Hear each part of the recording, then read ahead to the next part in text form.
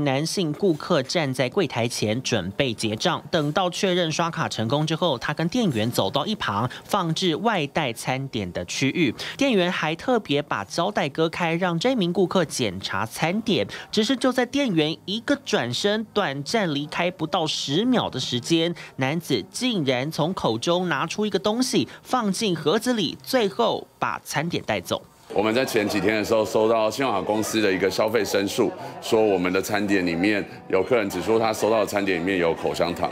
那我们看到这消息，我们也很震惊。位于台北市松山区这一间美食餐厅，平常光顾的客人不少。不过业者发文爆料说，这一名男顾客在两个月前买了辣鸡翅，现在却透过银行说拒付餐费六百八十八元，原因是餐点有口香糖。但是店家贴出监视器画面反击，明明是客人自己放的，根本就是在诬赖，手法熟练，实在让人很惊吓。不少民众也留言，手法太拙劣，支持餐厅提告。这。这样也要敲诈吗？某个程度上，认为已经伤害到我们品牌的价值，所以说。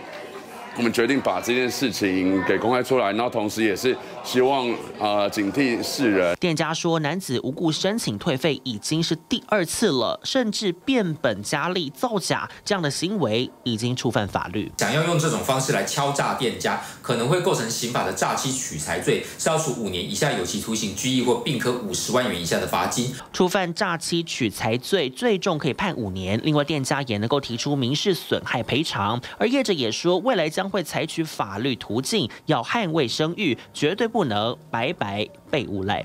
TVBS 新闻李正黄凯进台北曾报道。想看最完整的新闻内容，记得下载 TVBS 新闻网 APP。